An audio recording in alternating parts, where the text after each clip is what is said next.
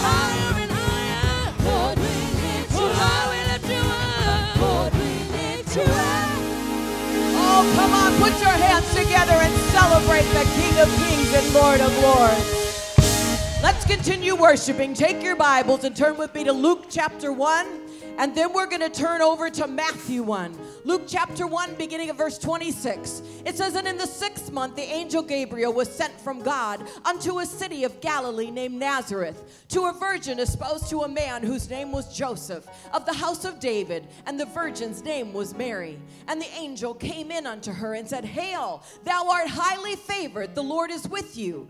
Blessed art thou among women. And when she saw him, she was troubled at his saying, and cast in her mind what manner of salutation this should be. And the angel said unto her, Fear not, Mary, for thou hast found favor with God. And behold, thou shalt conceive in thy womb and bring forth a son, and shalt call his name Jesus.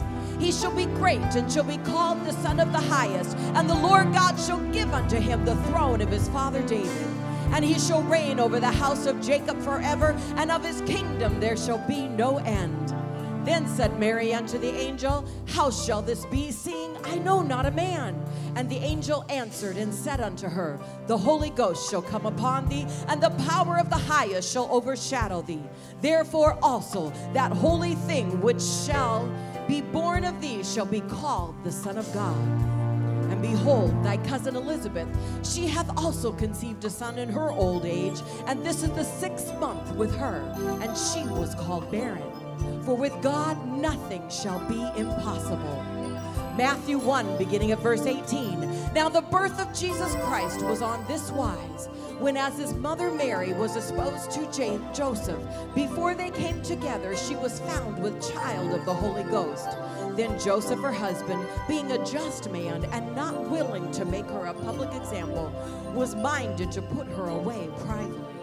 But while he thought on these things, behold, the angel of the Lord appeared unto him in a dream, saying, Joseph, thou son of David, fear not, take unto thee Mary thy wife, for that which is conceived in her is of the Holy Ghost and she shall bring forth a son, and thou shalt call his name Jesus, for he shall save his people from their sins. Now all this was done that it might be fulfilled, which was spoken to the Lord by the prophet, saying, Behold, a virgin shall be with child, and shall bring forth a son, and they shall call his name Emmanuel, for which interpreted is God with us.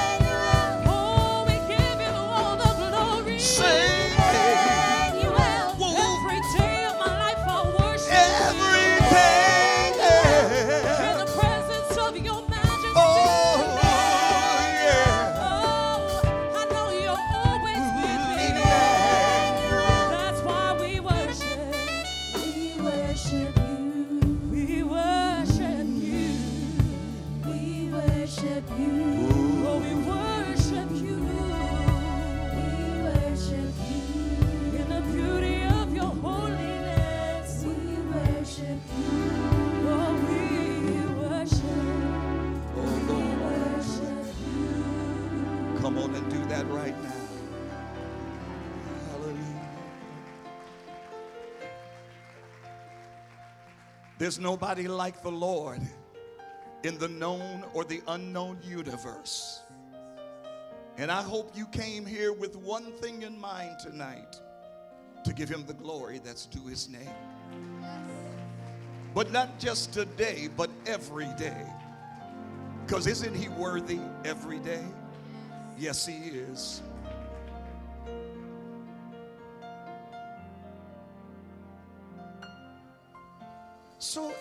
free.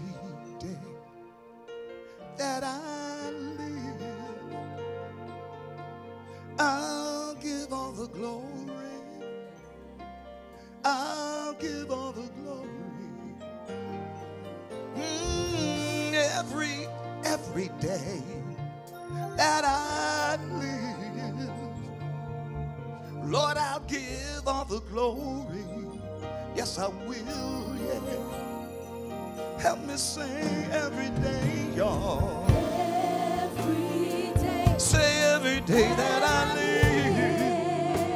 Mm, I'll give all the glory. I'm gonna give all the glory. All the glory. Every day I lift up my hands, I lift up my voice. Would you tell him that every day that you live, hey, I'm to say one more.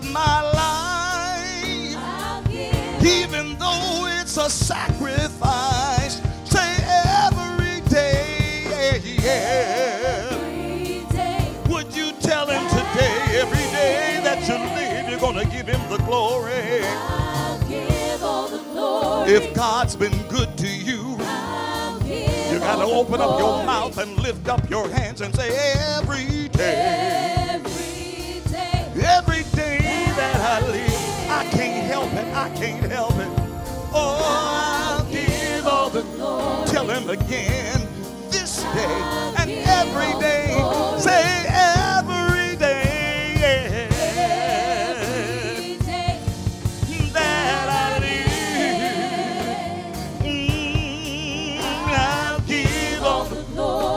I'll give all the glory I'll give all the glory. to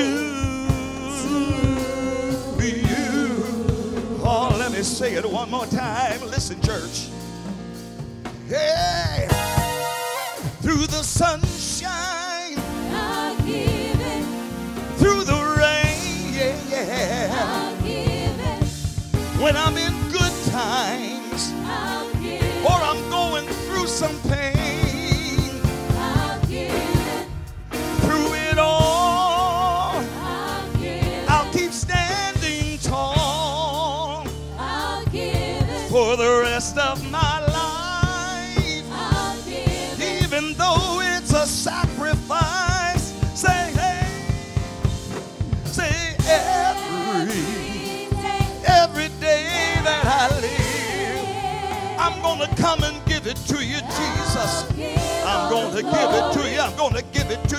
I will. Glory. every day, every day, Every day. Oh, I don't want to miss my chance. I'll give all the glory. Let the redeemed of the Lord say one more time. Say every day,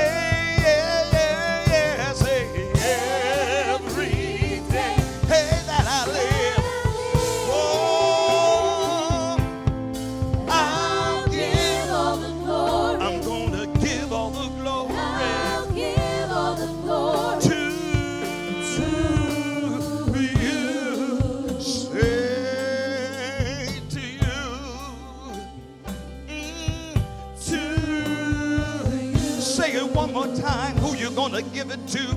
Give it to Jesus. Say to you.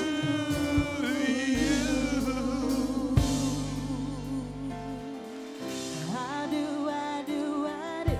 Oh yeah. I do, I do, I do. Say it. Worship you. Come on and sing. I do. I do, I do, I do. I really do.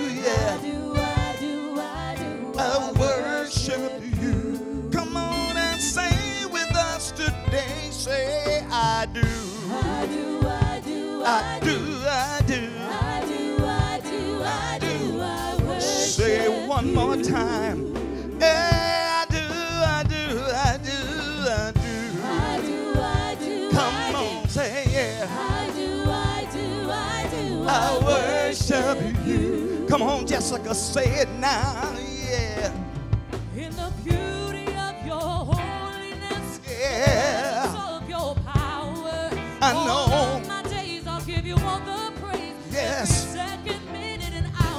Say from the rising of the sun to the going down. Don't you know that the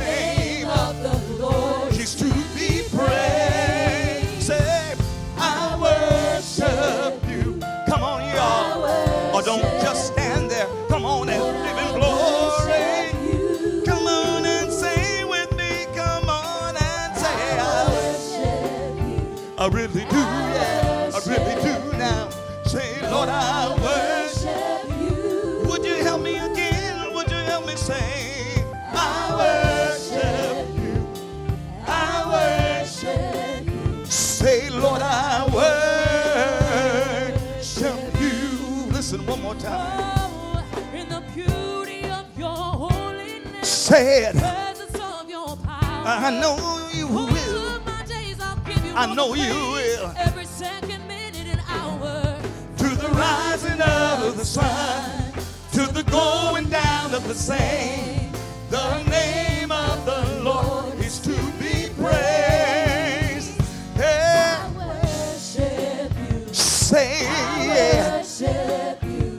him, Lord, I worship Mm, in the midnight hour, in the midnight hour, early in the morning, or when I wake up in the morning, Lord, I worship. you. Come on and say with me, come say, I worship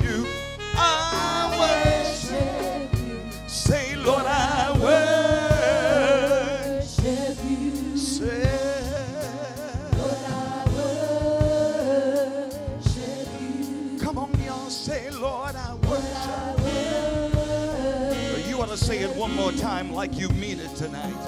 Lord, I worship. Come on, give him glory. Hallelujah. Come on, let's put our hands together. My God. Hallelujah. Hallelujah. He's worthy. My God, you may be seated. It's about that time to worship the Lord with his tithes and our offerings, church. Amen. Hallelujah. The special offering is for the media ministry. And we know that the media ministry has helped so many that haven't been able to come to church, but they've been able to stay connected uh, by streaming and seeing the services. You know, about two weeks ago, it's been about two weeks now that we've shared testimonies that you've given us of things that God has done. And I'll tell you, one of the common things is that everyone said, but God. They said, but God, God was able to get me out of this situation. There was no other way out. Amen. Praise God. Hallelujah. But there's also something else that was very common. Each person that wrote and said what had happened, they also said, Pastor Lopez, I'm a tither. I tie. And as a matter of fact, there were two people that said that's only that, that's the reason why it happened. Amen. So let's bless the Lord. Let's worship God with our tithe, and let's bless Him, bless Him with our offerings. I believe it's uh, uh, uh, uh, who said, she said, no one's ever become poor by giving. Amen. Praise God. Let me pray. Father, we give you glory. My God, we give you honor. We bless your name. And so, Father God, we do what you've called us to do. We do it with love and obedience, and we sow it into your kingdom. And we pray this in Jesus' name. Amen. Oh,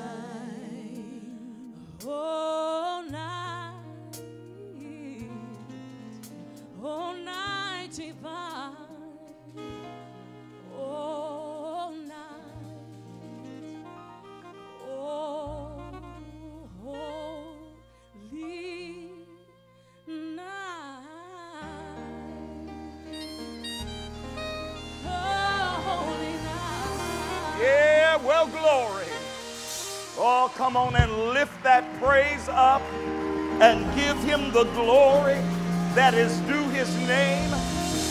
What a wonderful Savior. What a wonderful Savior.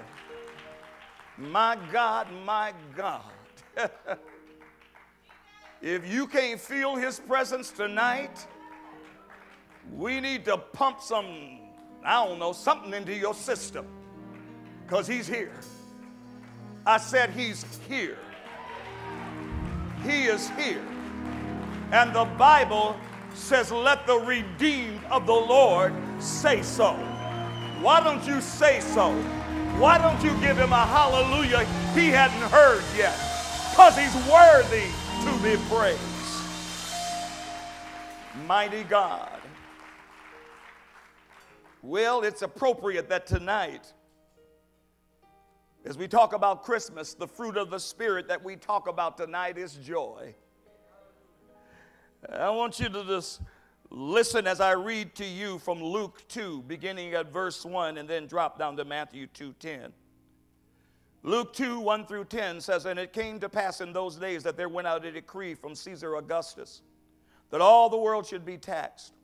And this taxing was first made when Cyrus was governor of Syria. And all went to be taxed, everyone into his own city. And Joseph also went up from Galilee out of the city of Nazareth into the city of David, which is called Bethlehem, because he was of the house and lineage of David, to be taxed with Mary, his espoused wife, being great with child. And so it was that while they were there, the days were accomplished that she should be delivered, and she brought forth the firstborn son, wrapped him in swaddling clothes, and laid him in a manger, because there was no room for them in the inn. And there were in the same country shepherds abiding in the field, keeping watch over their flock by night. And lo, the angel of the Lord came upon them, and the glory of the Lord shone round about them, and they were sore afraid. And the angel said unto them, Fear not, for behold, I bring you good tidings of great joy, which shall be to all people. Matthew 2:10. And when they, the wise men, saw the star, they rejoiced with exceeding great joy. Father, my prayer is that people will leave this place with a greater joy than they came in with. And for those that lack it, may they find that there is an avenue to greater joy. It is not a normal joy that you give us, but it's an exceeding great joy. And I'm asking you to anoint our ears and hearts to receive it in Jesus' name. Amen and amen. You may be seated in the presence of the Lord. There was a poll that was taken not long ago by radio listeners and a disc jockey concerning what was the number one rock and roll song of all time. And it was interesting to find out that of all the stars and the crazy rock music, the poll revealed that the number one rock song of all time was sung by a British band, the Rolling Stones, entitled I Can't Get No Satisfaction. It drives home a truth that has become very evident in the last few years, church. That song speaks like never before to a fundamental dilemma of so many people in our society and even in our churches who are sitting in our pews, and some of you may be sitting in this room. There are people on a constant quest to find something that brings us satisfaction. I want you to listen to some of the words of that song because it's going to take us where we're going in this Christmas message. Listen to what it says I can't get no satisfaction. I can't get no satisfaction because I try and I try and I try and I try. I can't get no, I can't get no. Listen now, when I'm driving in my car and the man comes on the radio, he's telling me more and more about some useless information supposed to fire my imagination. I can't get no, oh no, no. Hey, hey, that's why I say I can't get no satisfaction. I can't get no satisfaction because I try and I try and I try. I can't get no. And then listen to this verse when I'm riding around the world and I'm doing this and I'm singing that and I'm trying to make some girl who tells me, baby, better come back maybe next week. You can see I'm on a losing streak. I can't get no, I can't get, I can't get no satisfaction. How many of you are getting the idea that they can't get no satisfaction? I want you to hear, though, what these dudes are really saying. Because you can almost see the history of the last 40 to 50 years of the American life and a culture written through the lens and the lyrics of that song. And what it is saying is that at the end of the day, most of the people in America and all over the world are obsessed with the quest for happiness. They are looking for a time and a place in their life where there will always be a smile on their face and tears, no tears in their eyes. Where they can live a life that is kind of like the life of Disney World at all times. But what they forget is that Disney World is the greatest of all illusions. Look at the lives of the executives and the employees of Disney Corporation. It's revealed every day. And in John 16 33, Jesus tells us in no uncertain terms, in this world you will have tribulation. You're going to have some bad times as well as some good times. And how many of you understand that deep within the corridors of our hearts, we know that to be true, yet we still try to behave like the lyrics of that song of the Rolling Stones? I try and I try and I try, but I can't get no happiness because happiness does not, church, and cannot last. Let me say something right out the box. Jesus didn't come to give us great tidings of great happiness. He came and he gave us tidings of great joy. Because we need to understand that happiness flows out of joy and not in reverse. Again, happiness does not always come and stay. Because how many of you have figured out that every day is not your favorite day? But yet you don't have to let that unhappy thing steal your joy. Sometimes, even after we discover it, though, there's a dilemma. When we discover that happiness doesn't last, we move from one thing through another to try and try and try. What are some of the ways that many try to find happiness? Number one, we try to thrill our way to happiness. There is an obsession in this country with thrills. That's why we buy cars that will allow us to go faster than any state will allow us to drive our cars.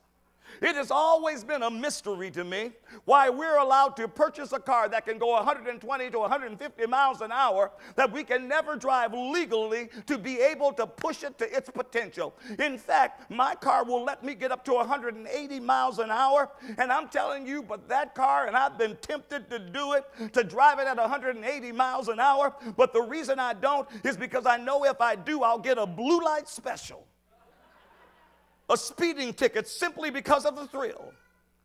Don't you know that's why some people they do this foolish thing like jumping out of an airplane and free falling from thousands of feet into the atmosphere with a little thing on their backs that looks like a diaper called a parachute?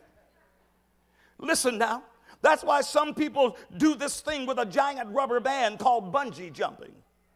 Others like Pastor Kevin they climb places called Mount Kilimanjaro, ignoring the killer part. and they put their trust in a guide who says, just trust me and follow my instructions and we'll all be safe.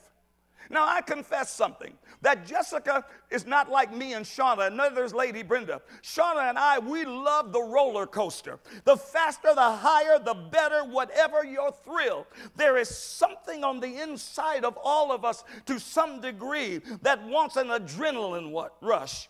We want that sensation of living dangerously. We want what some people call that rush that comes when we live on the edge of, edge of death itself. You don't really want to die, you just want the rush that goes with feeling like you're going to die. Now, there's some other people I call fools. They're rich.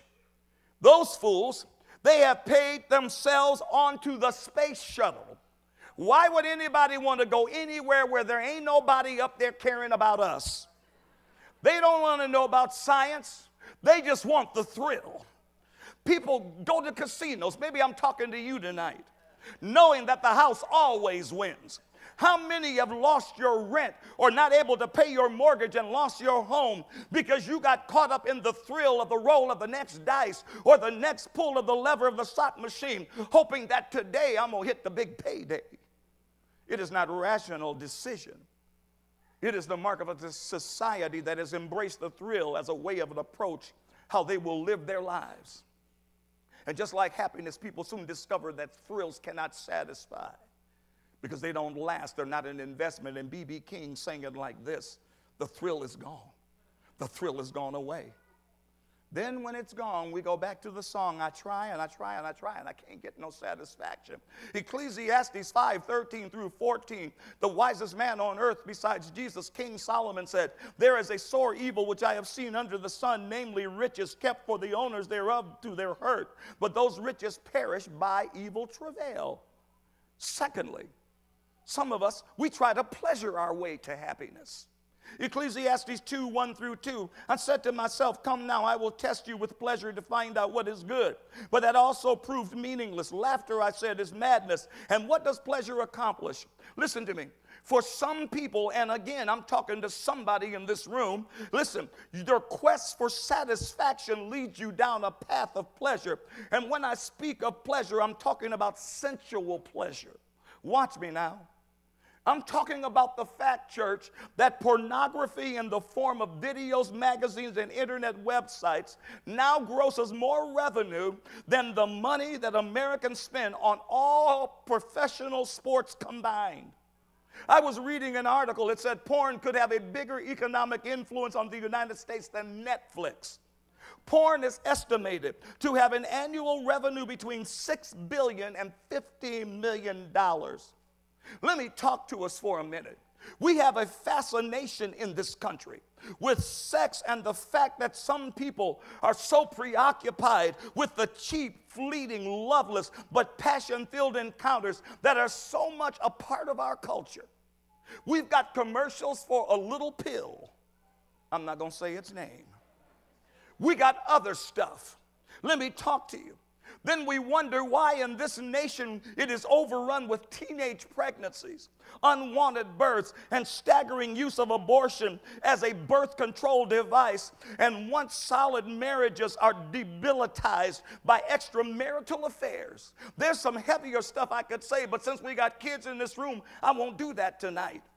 But yet we have to realize, church, the price that we are going to pay in this nation for our high pursuit of pleasure. And eventually it brings the pursuers back to the song I try and I try and I try, but I can't get no satisfaction.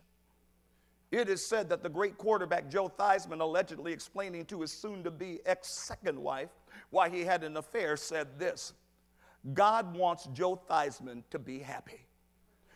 Do you hear the foolishness and insanity of people who pursue happiness through pleasure? Number three, some of us, we try to hide our way to happiness high our way to happiness. In 2019, 25.8% of people's ages 18 and older, 29.7% of men, and 22% of women reported that they engaged in binge drinking in the past month. 14.5 million people, listen now, ages 12 and older in the United States have AUD, alcohol use disorder. And King Solomon, the author of Ecclesiastes, said this in Ecclesiastes 2 3.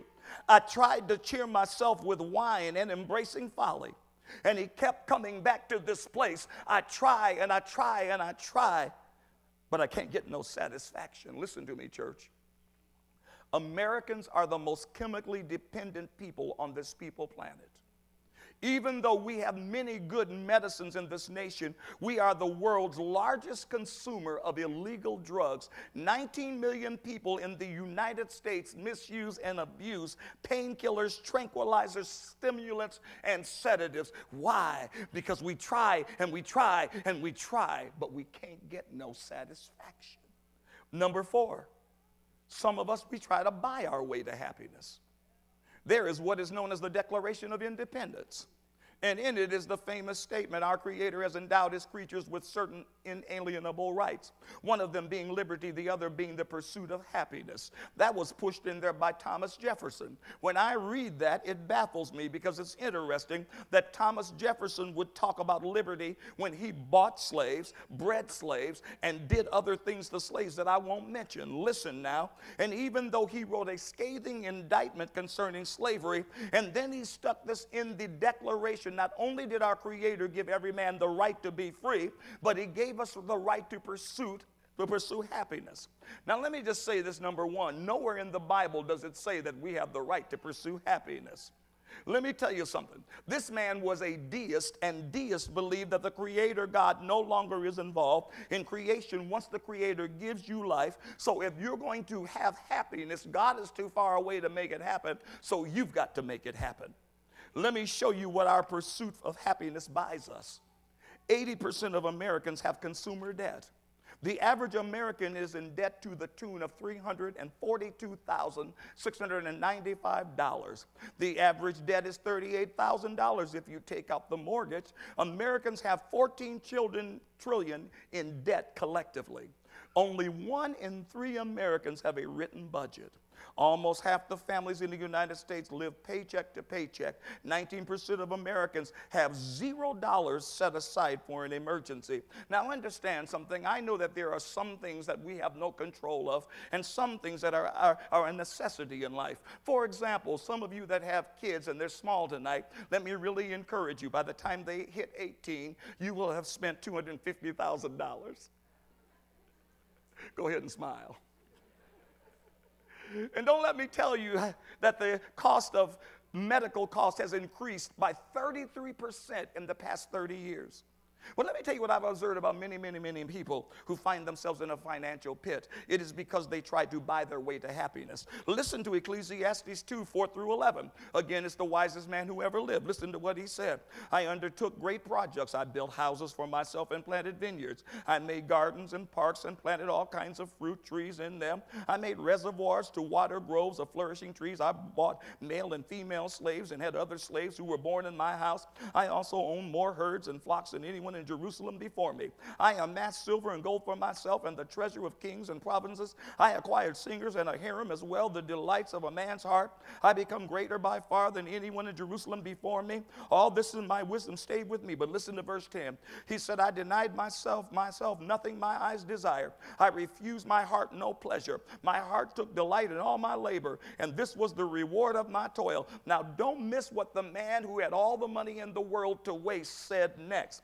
He said in verse 11, Yet when I surveyed all that my hands had done and what I had toiled to achieve, everything was meaningless, a chasing after the wind. Can you hear Solomon singing? I tried and I tried and I tried, but I can't get no satisfaction. Then he says in Ecclesiastes 5 10 through 11, whoever loves money ha- never has enough. Whoever loves wealth is never satisfied with their income. This too is meaningless as goods increase, so do those who consume them. And what benefit are they to the owners except to feast their eyes on them? Listen now. He's not against you having nice things. I'm not against you having nice things. I like nice things. I like that you all look so nice tonight. You look beautiful. You look wonderful. But let me tell you something. What he's trying to get you to understand is just because you can buy something, you need to understand the one thing you cannot purchase is happiness. And when you envy other people, it makes you unhappy.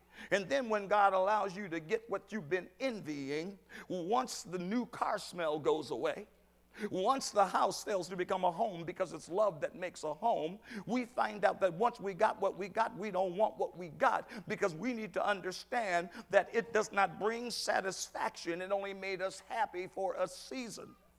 I have a friend who brought a brand new car. Well, he's with the Lord now, but he bought a brand new car, drove it one time, parked it under a tree, and let it sit there for nearly 15 years as it rotted. You can't buy happiness.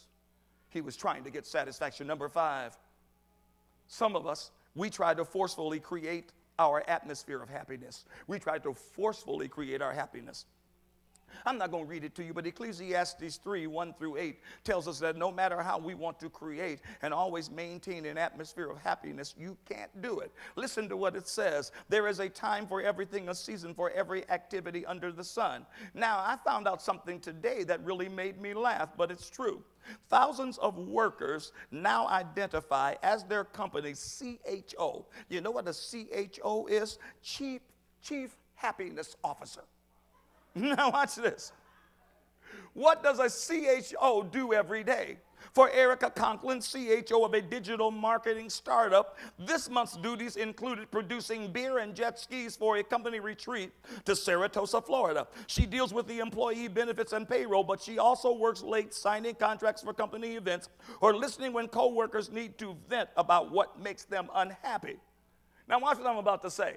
McDonald's started the trend by promoting Ronald McDonald to Chief Happiness Officer in 2003 as a joke. Then tech companies like Google joined the CHO, CHO wagon.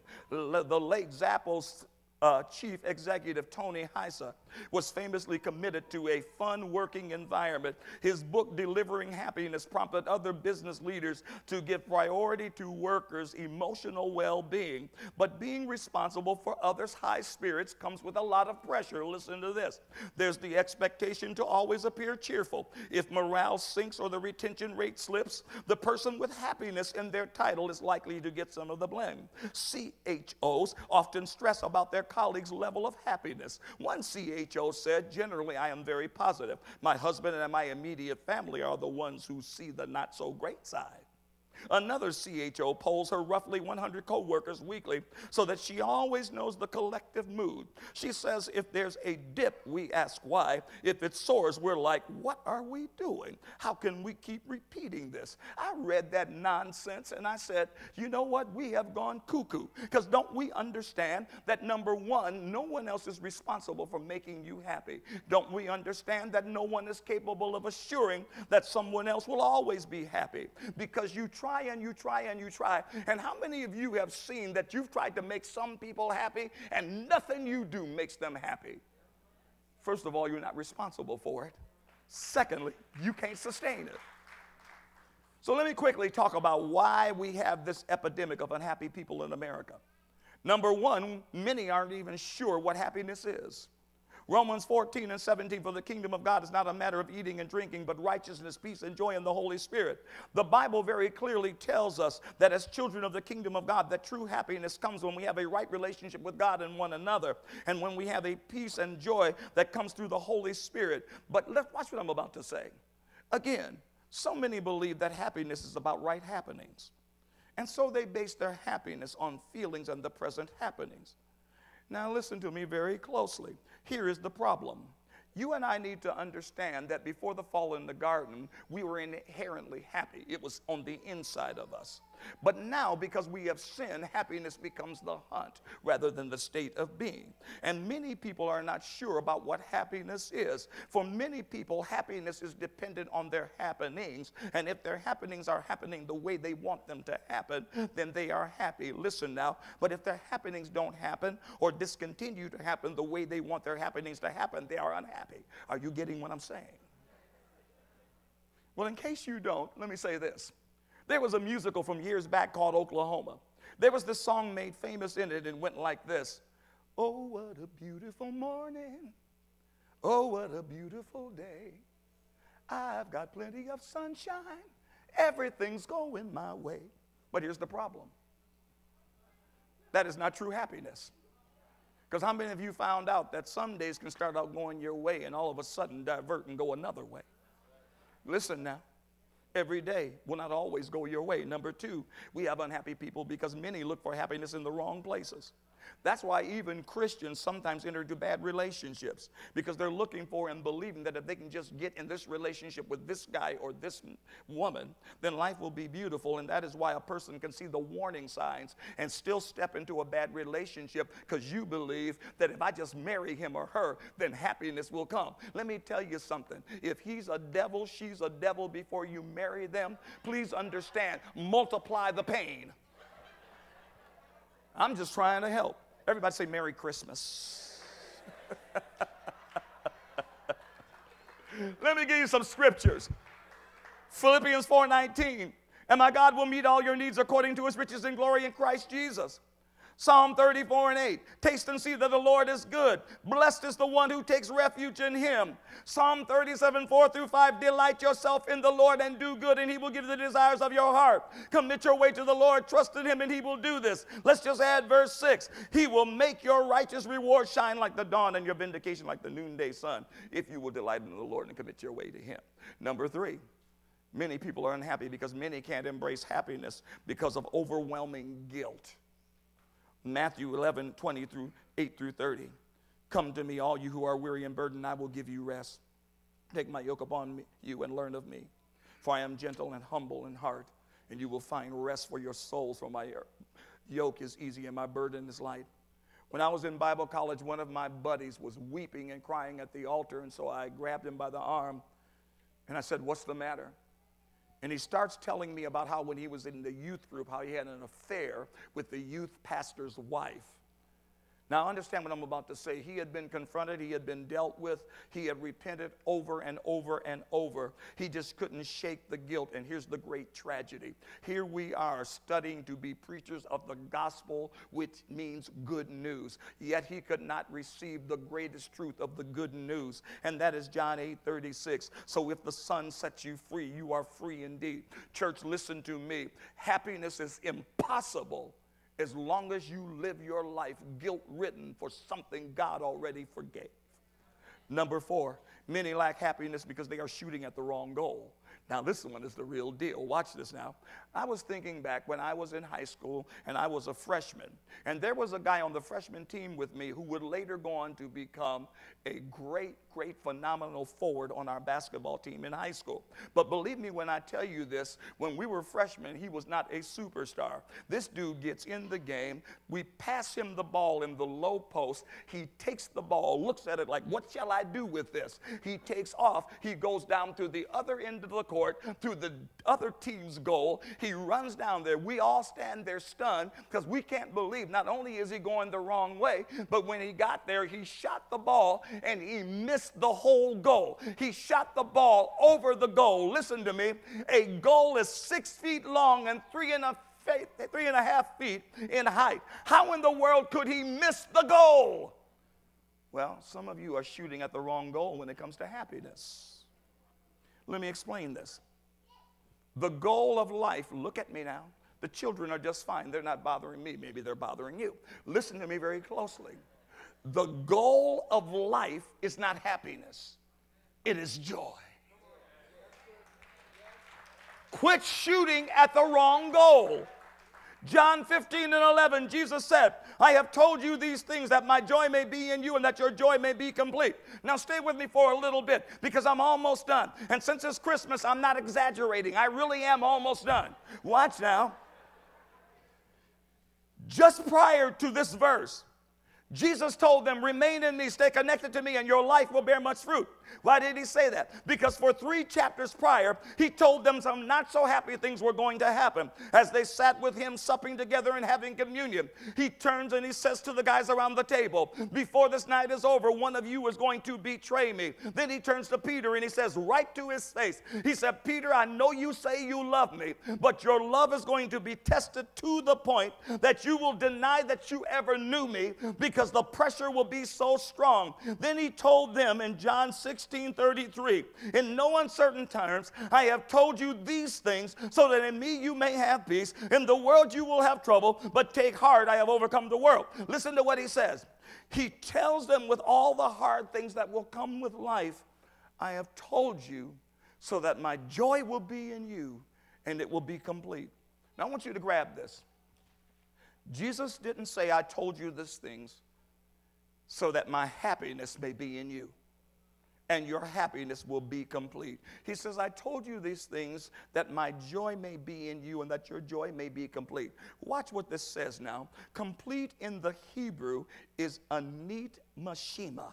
A neat mashima. It means to be complete, perfect. There is no flaw in it. Jesus said, I told you this that you might have my anit mashima on the inside of you. That my anit mashima would give you a perfect joy. It would get you to the place, and you can have it if you stay connected to me. Watch this now. What is one of the fruit of the Spirit? It is joy. Who brings the joy into our lives? The Holy Spirit. And Jesus said, I'm giving you the Holy Ghost so that in the times when happy things get disrupted by unhappy things, you're going to know that it's going to be all right because my anit mashima is in you. You've got complete and perfect joy. Complete and perfect joy cannot be disturbed by the circumstances of life. It cannot be disrupted by the things that people say and do to you. He said, My neat mashima, it is perfect joy. It is a Nehemiah 8 and 10 joy. It flows out of you,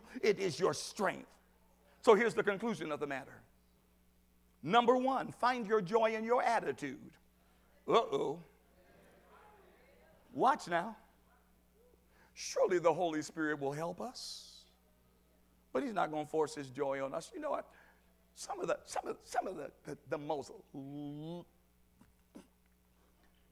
some of the people I see that look the most like they spent the night upside down in a post hole, drinking vinegar and sucking on a lemon are Christians. Are you hearing me? See, some of y'all can't even laugh when I say something funny even when I'm not trying to be funny. Listen to me. Joy is not automatic, there's a responsibility of pursuance of joy on our behalf. Philippians 4 and 4, Paul gives this instruction Rejoice in the Lord always, and again, rejoice. Now, watch this. When I was running cross country, we had this one coach, he was from England. And you know what he would say to us? He would make us run in place, then we'd have to hit the ground and do some push ups. And he would say, after we do one, he wanted us to repeat. He would go, and again, and again, and again, and again. Now, it took me a while to understand what he was saying.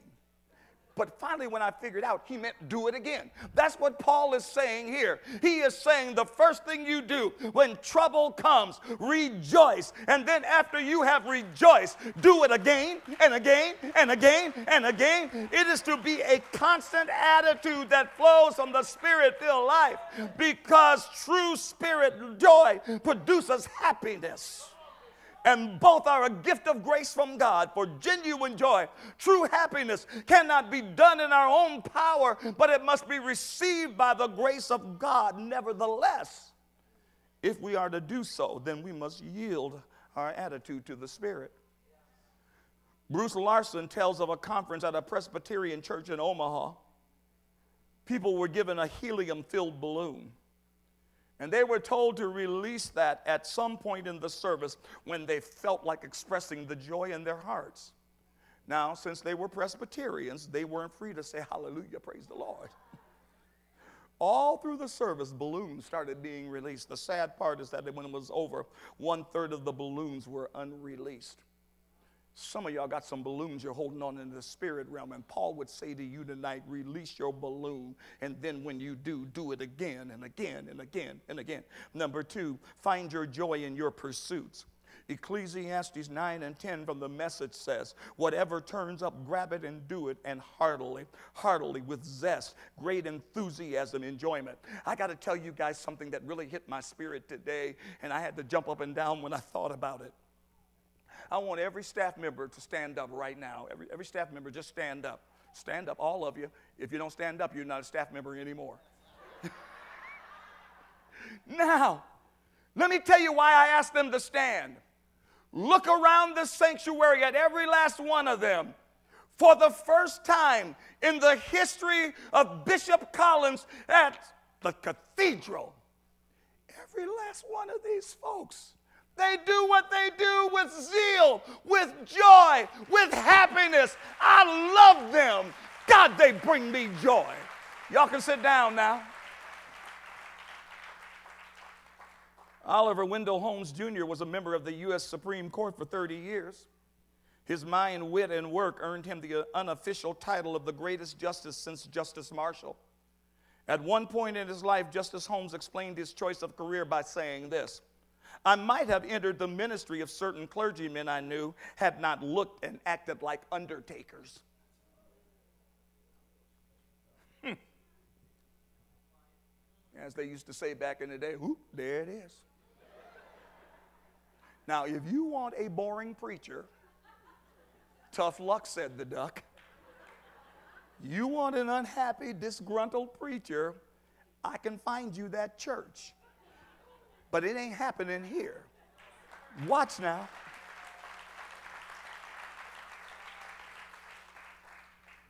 Because now, number three, find your joy in the Lord. John 16, 23 through 24. In that day you will no longer ask anything. Very truly I tell you, my Father will give you whatever you ask in my name. Until now you have not asked anything in my name. Ask and you shall receive, and your joy will be complete. Stop right there. Number one, some of you are not happy and have no joy because you've never asked Jesus for anything. And then if you asked him for it, you didn't believe he could do it. So he said, Why bother?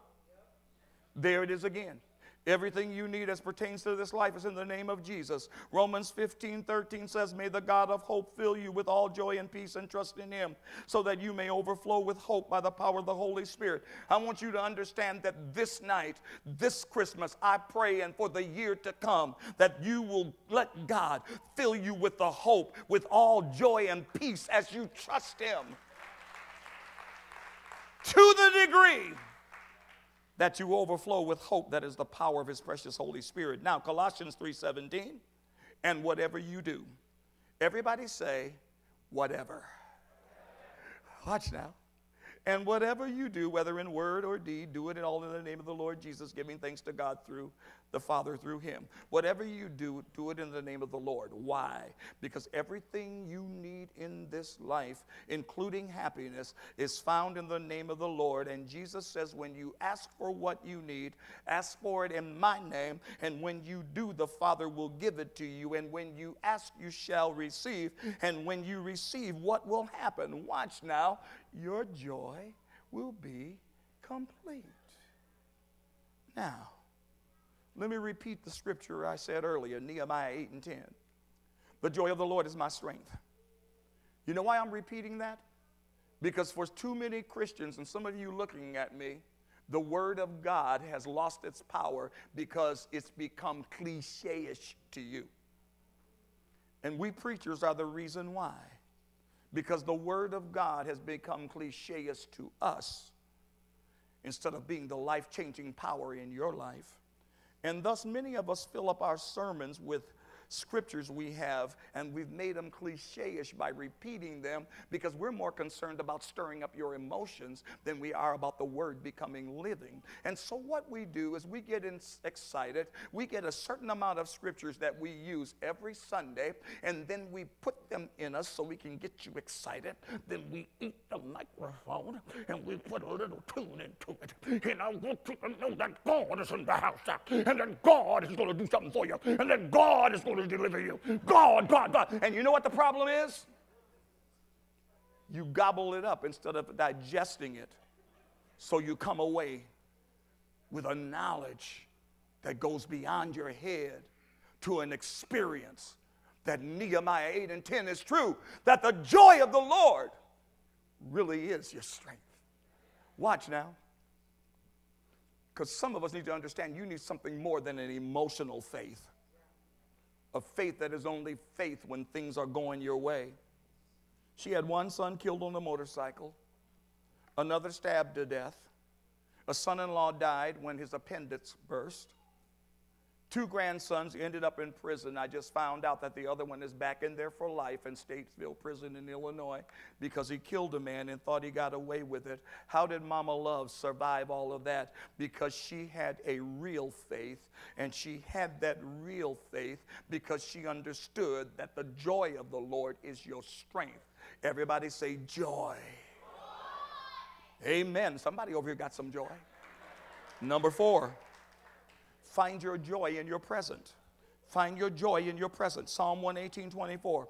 The Lord has done it this very day. Let us rejoice today and be glad. Well, well, well, well, well, well, well. Let us rejoice today and be glad. Let us rejoice today and be glad. Let me go over here and say that.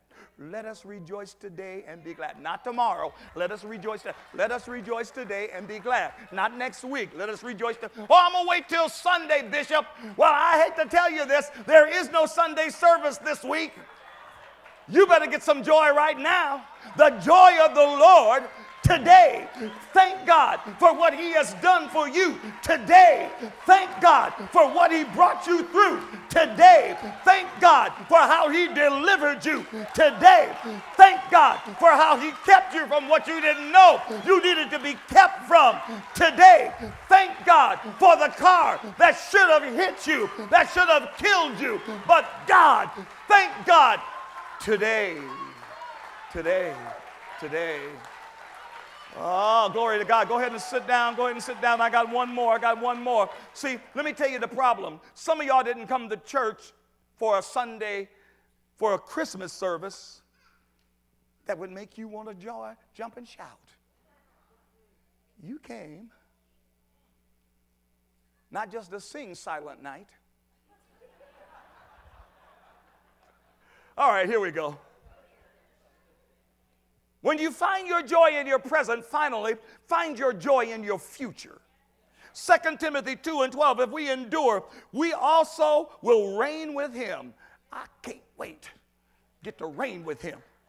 Listen to these beautiful words from Revelation 22, 1 through 5. They are the picture of why we really celebrate Christmas. Then the angel showed me a river of water of life, as clear as crystal, flowing from the throne of God and of the Lamb down the middle of the street of the city. Each side of the river stood the tree of life, bearing 12 crops of fruit, yielding its fruit every month. And the leaves of the trees are for the healing of the nations. No longer will there be any curse. Now, that's a place to shout right there my God. The throne of God and the Lamb will be in the city, and his servants will serve him. They will see his face, and his name will be on their foreheads. There will be no night. There will not need the lamp, the light of a lamp, or the light of the sun, for the Lord God will give them light, and they will reign forever. Let me talk to you for a minute, church. As you're sitting down at your Christmas dinner, you need to celebrate the reality that Jesus came. He gave you a bright present, but your future is brighter. Watch now. Luke 2:10 The angel said to the shepherds when they were fearful at his presence, "Fear not, I bring you good news, but not just any kind of good news, good news that will cause you great joy." Not any kind of joy, but great joy. Here's why. Verse 11 For unto you was born this day in the city of David a Savior, which is Christ the Lord. Matthew 2:10. I remind you of the wise men when they saw the star that led them to the Savior, they rejoiced with exceeding great joy. The word exceeding means over above. Now, watch this. You'll never believe this word. It means violent, uncontrollable joy. Woo, glory. See, that's why I make room at the altar because I might get violent praising him. I don't want to punch Lady Brenda in the head. I don't want to knock Dr. Hill over. I don't want to run Pastor Lopez over because I might get exceedingly joyful in the presence of the Lord. Some of y'all looking at me and I wish he would hurry up. I ain't going to hurry up because the joy of the Lord is my strength. Ah, come on, somebody. And you know what? The joy I'm talking about, most of the joy that I'm talking about, the church doesn't know and the world can't handle it because they can't understand it. Now, Chloe Byron with Massive, Mashable.com reported in Jackson, Mississippi, Eddie Prosser was tired of the pothole that had graced his neighborhood for a year unfixed. So he got the city's attention by throwing the pothole a birthday party. The delightful display featured a festive birthday balloon as well as a giant greeting card reading Happy Birthday Pothole in beautiful script. To drive the point home, the sign also said, I've been here for over a year. Prosser told WJTV News that although the sign was intended as a joke, he really was frustrated with the city's lack of action. Finally, after the local news outlets reported on the pothole party, the city fixed it. Now, listen to me, church. Celebrating a pothole is a strange way to address a problem. But in the case of Eddie Prosser, it was a change of attitude that finally worked.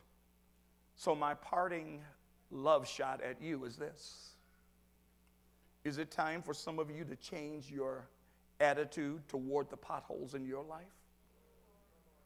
Instead of sitting around and resenting your troubles, maybe it's time to take a different tactic. The Bible says in James 1 and 12, Count it all joy, my brothers, when they give you a birthday cake. Nope. Count it all joy, my brothers, when you meet trials of various kinds. Maybe it's time to stop whining and complaining and throw a party. And a good place to start is with Jesus on his birthday. Joy to the world. The Lord has come. I said, Joy to the world. The Lord has come. Joy to the world. The Lord, come on, help me say it. Joy to the world. The Lord has come. If you believe that, say it one more time. Joy to the world. The Lord has come. We've come to worship the King. Yes. We're here to worship the King. Yes. We are in His presence Come on. just to magnify His name. Cause when we seek His face, Yes. all of His glory fills this place. Let it- As we worship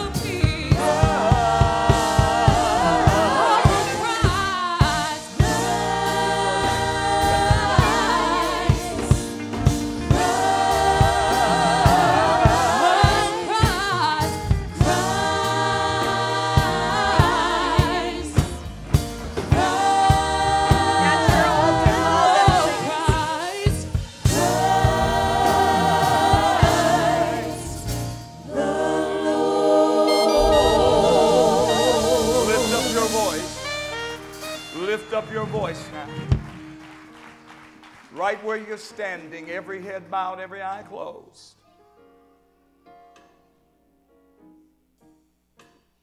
Today, my father told me that Chicago had a great snowfall. We're known in Chicago for snow, but we're also known for something that is very important. We're known for what is known as the Great Chicago Fire. And a great preacher preached there during that time. And he did not do an altar call. And he said, I will never, ever do a service ever again without doing an altar call. I'm not going to do an altar call, but I'm going to ask a question tonight. Every head bowed and every eye closed. If your heart has not settled and made peace with God, if you have not made Jesus the Lord of your life, tonight is your opportunity. And what a way to give a Christmas gift to yourself because God sent him that you might have life and more abundantly. And you would say, Bishop, tonight, right where I'm standing, I want you to pray for me. I want to give my heart to Jesus. Maybe you've drifted away from the Lord. It's time to come back and right relationship. You say, Bishop, I want to do that. Either one of those, just slip up your hand right now and we'll see it. I'm going to pray with you. That's it. God bless you. That's it. Just lift it right where you are, right where you are. Lift it high. That's it. We're going to pray this prayer. In either way, you mean it from your heart. Then you are right with God. Would you repeat after me, Heavenly Father? Thank you for Jesus, the Savior of the world, who was born on Christmas morning but that was not the ending, it was the beginning. He served as a man, he gave away his divinity for a time, and he laid down his life for mine. And I'm so thankful for the gift of salvation that I'm asking you, Father, in Jesus' name, forgive my sins let Jesus come into my heart and live. And I ask you, Jesus, to do that today. And God, your Bible says that if I confess with my tongue and I believe with my heart that Jesus is the Savior of the world and I repent, I shall be saved. I do it in the name of Jesus. Father, thank you for saving my soul. In Jesus' name, amen and amen. Give God glory and honor.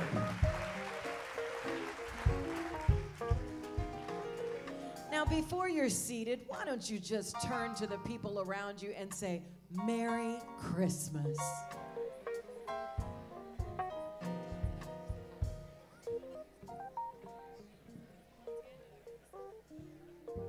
You may be seated just very quickly. If you're worshiping with us for the very first time today, we want to welcome you into God's house. If you've not stopped by our welcome center, which is the counter located right by the front doors where you came in, make sure you stop by there because we've got a free gift for you there from Bishop Collins. But most of all, we're excited because you came and you chose to celebrate the King of Kings and Lord of Lords here at Eagle Heights Cathedral. Family, let's just welcome everyone into God's house. Now, let me give you just a few quick reminders. This Sunday, stay home, be with your family. Amen? Celebrate Christmas Day. Then there's no service on Wednesday night, but we want you to come and join us on Saturday night, January 31st, for an amazing Ju- um, December 31st. Sorry, I'm already in January. But join us for our New Year's Eve celebration service, and trust me, there will be room for you. But what we need you to do is parents, we need you to register your kids for the service. We have one at six o'clock and one at eight o'clock. So make sure you go online and register your kids so that we can distribute our workers throughout those two services. Then we want to just tell you, you know what? Just be blessed with your family. You know, as Bishop Bishop was talking about, you know what? Let things go. just enjoy what God has blessed you with this season. Amen. Amen. Before Bishop comes and gives his blessing, why don't you stand and worship one more time? bread of heaven sent down from glory. You were so many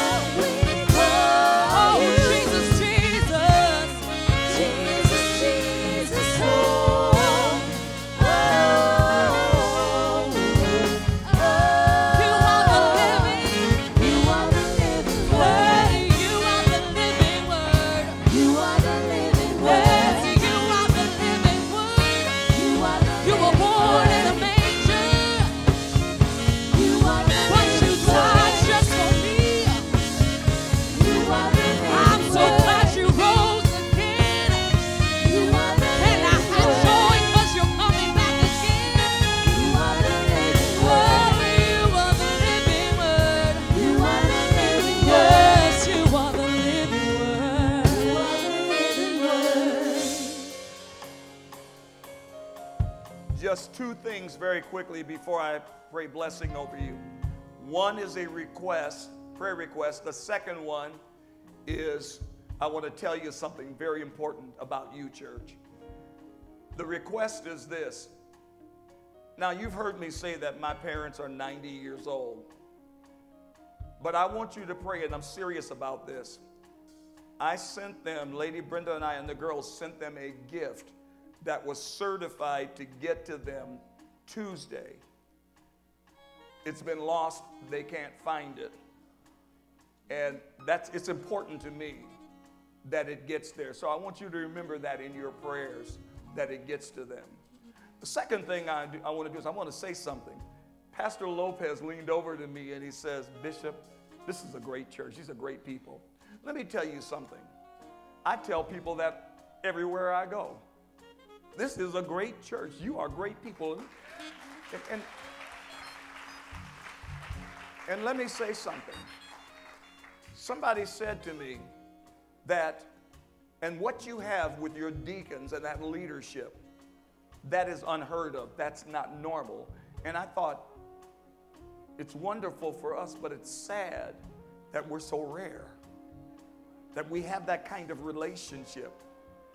And I want to say one more thing. I want to say that somebody said to me one day, says, You know, there are pastors that would die to pastor that church. I said two things. Well, first of all, they will die if they think they're going to pastor this church. The second thing I said is they don't know how we went through and got to where we got to get to where we are.